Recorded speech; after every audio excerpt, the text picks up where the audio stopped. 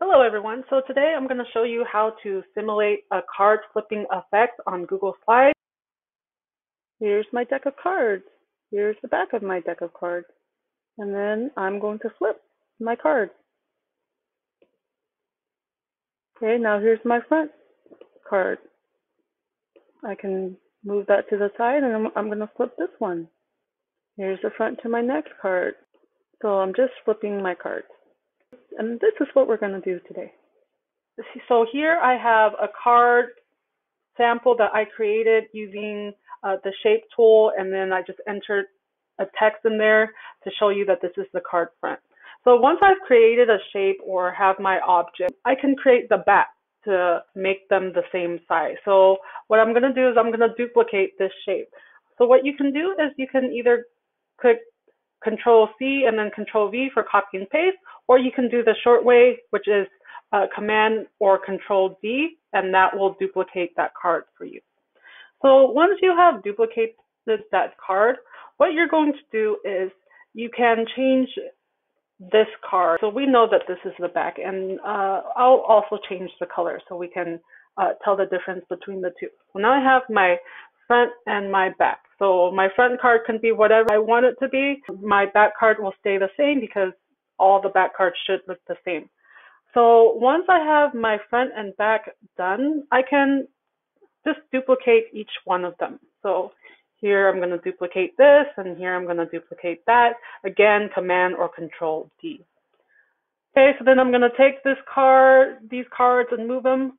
I'm going to line them up. You don't even really have to line them up exactly. If they're just on top of each other, that's fine. So now I'm going to duplicate my this card again. And then maybe this is a different front card, so I'll change the color. Okay, and then I'll say card front two or whatever it is you decide to make that card. Once again, I'm just going to take it and move it. And then I'm going to duplicate this card. And the reason why I'm duplicating them one at a time and not duplicating them all at once because of the order feature. So basically, whatever is the most recent object that was created will be on top. So we don't want to duplicate a bunch at one time because then you'll have to deal with reordering each of those cards. So then I'm just going to keep duplicating this and then changing my card. Okay, so once I've created the number of cards that I like, I'm just going to take these that I've created first and just add them to the stack. Okay, so they'll naturally stack on top of each other. Once I've done that, I can just highlight over my whole stack and select the whole thing. What I'm going to do is I'm going to go to Arrange and I'm going to go to Align and I'm going to click Center. And then I'm going to go there again, go to Align and then go to Middle. Then what it does is it stacks all my cards together. And then I can move this stack wherever I want and it will move the whole stack for me. So once I have my initial stack, I can easily duplicate this whole set. So again, what I can do is highlight the whole thing and then just Command D and then move the stack. And then you'll see that my whole stack has been duplicated if I move, move it. Let's test it out to see if it works. So here's my card back. Um, if I delete it, there's my card front. So I will just click delete. It will simulate card my card flipping. So now if you ever want to rearrange your card set, all you would have to do is one at a time bring your cards to the front.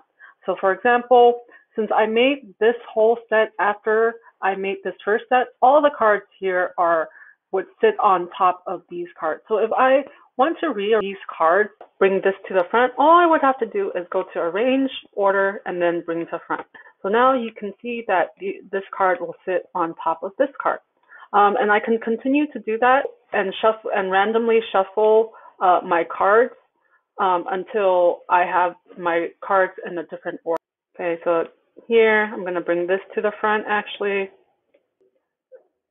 just make sure you switch which cards you bring to the front. So a front card to the front first and then a back card to the uh, front. Again, highlight the section And just be careful that you don't highlight the other cards. Maybe move these out of the way.